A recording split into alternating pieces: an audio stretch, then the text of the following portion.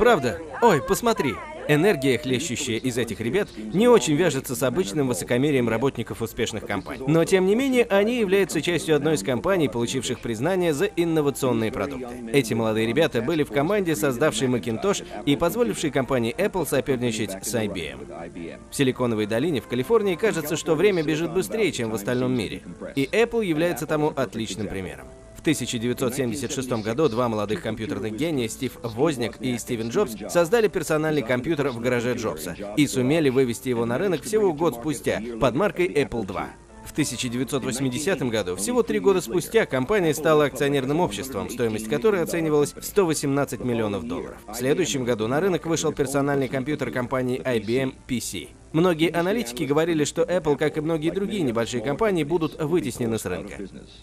Но Стив Джобс, который в возрасте 28 лет был председателем совета директоров компании, не был готов сдаваться. Вы знаете, что в IBM работает 350 тысяч человек? А у нас 6 тысяч человек. Удивительно, не правда ли? Я думаю, что компания IBM — это достояние всей страны. Они очень много сделали. Это настоящая жемчужина. И я их очень уважаю. Благодаря им компания Apple стала гораздо лучше. Ведь соперничая с IBM, мы становимся лучше и лучше с каждым месяцем. Но есть проблема. Она состоит в том, что они настолько большие и так сильны на некоторых рынках, что Apple это единственное, что преграждает им путь к полному доминированию на рынке.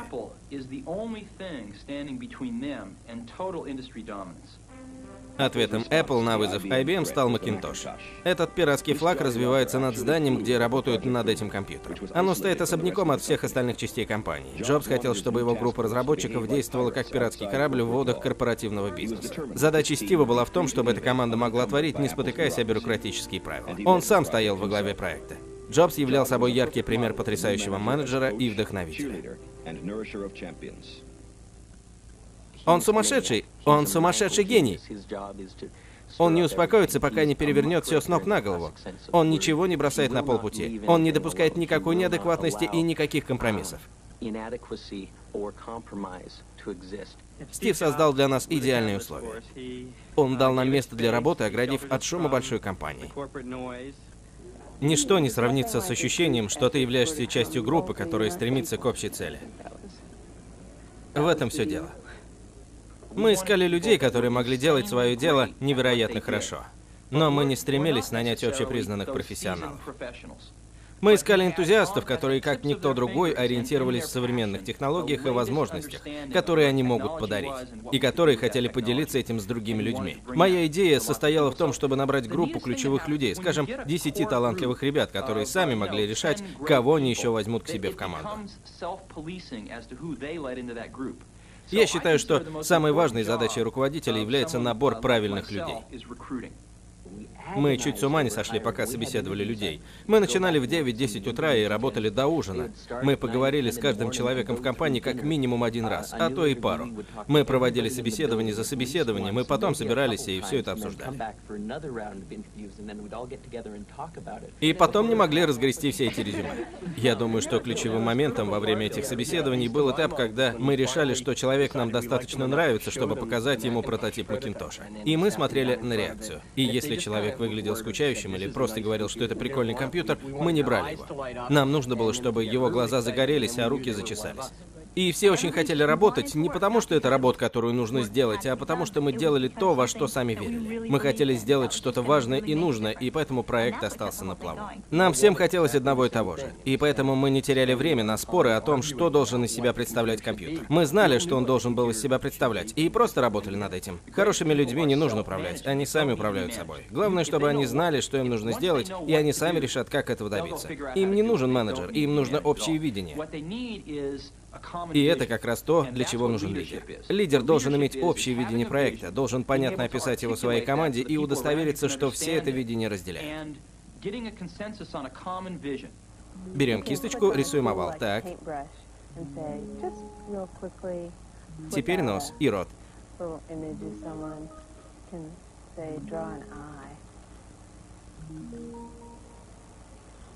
Теперь карандашом нарисуем глаза. Вот так. Перемещаем глаз сюда и делаем еще такой же. Уже на что-то похоже. Задачей команды Mac было создать недорогой компьютер, который был бы настолько же мощным, как IBM PC. Компьютер с возможностями, которые сделали бы его привлекательными для таких молодых людей, как они сами. Этот компьютер должен быть простым в использовании. В Macintosh нет никаких команд, которые нужно запоминать и заносить в строку ввода. Все, что вам нужно сделать, это направить стрелочку, которая управляется с помощью специального устройства, мышки, на строку в меню. Его вы видите на экране. Удобно, что потом можно просто скопировать целиком весь рисунок. И потом можно его отзеркалить. Сместить. Одной из самых важных вещей в разработке Macintosh была возможность изменить представление людей о компьютерах. Когда компьютеры только начали появляться 5-7 лет назад, в представлении людей компьютер был чем-то огромным, холодным, безликим. В целом чем-то неприятным. Никто бы не подумал, что компьютер и удовольствие могут ассоциироваться друг с другом. Мы хотим, чтобы люди смотрели на компьютер и говорили, он мне в душу запал. Не знаю, как точно выразить, но компьютер должен быть чем-то приятным, теплым, милым. Людям должно не терпеться взять его в руки. Здорово, что так говорят и друзья, и враги. Просто потрясающе, что мы смогли создать что-то настолько невероятное с помощью разных электронных элементов. Удивительно, что все эти холодные безликие штучки складываются в настолько яркий, эмоционально заряженный продукт. Важно то, для чего мы все это делаем. Я делаю это не для Стива Джобса. Передо мной гораздо более глобальная цель. Изменить что-то в этом мире, по-настоящему что-то изменить к лучшему. Это то, как мы представляем себе ПК. Это то, каким в нашем представлении должен быть мир вокруг нас. И у нас есть видение того, как мы будем менять этот мир.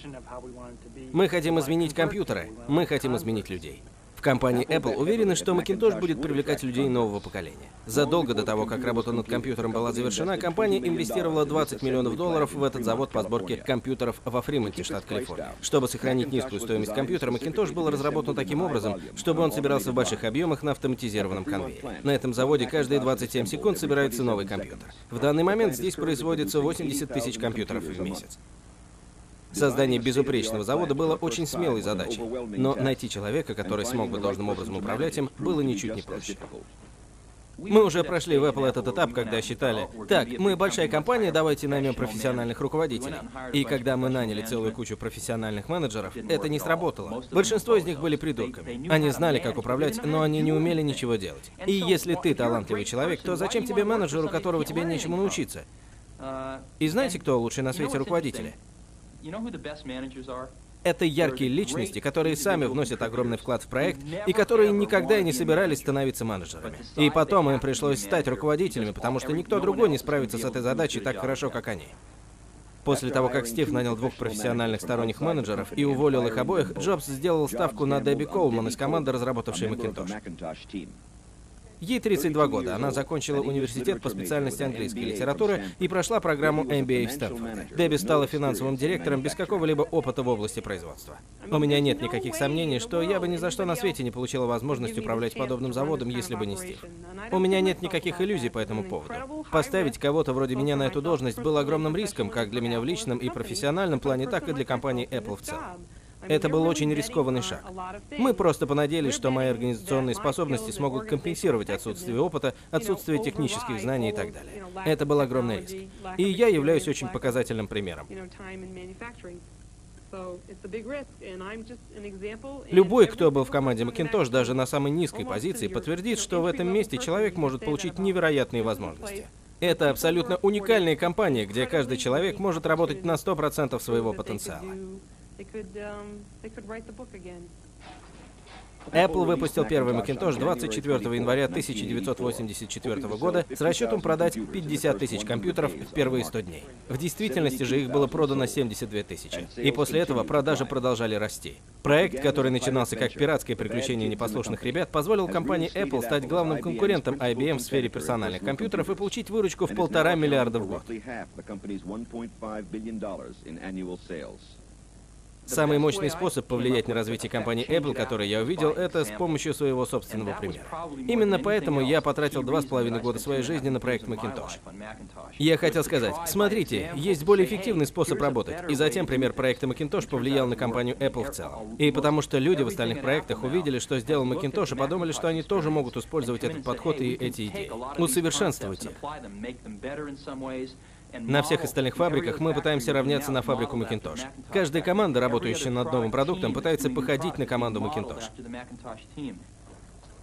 Пример команды Macintosh демонстрирует, насколько эффективно может работать и творить группа профессионалов, когда их объединяет общее видение и цель, и когда они получают свободу искать новые нестандартные решения. Также этот проект показал, как много можно достигнуть, если вклад, который человек делает в развитие проекта, высоко ценится. На внутренней стороне корпуса всех компьютеров Macintosh, невидимые для глаз пользователей, выгравированы росписи всех членов команды, создавшей компьютер. Таким образом, Apple говорит о том, что этот инновационный продукт был создан отдельными людьми, а не корпорацией.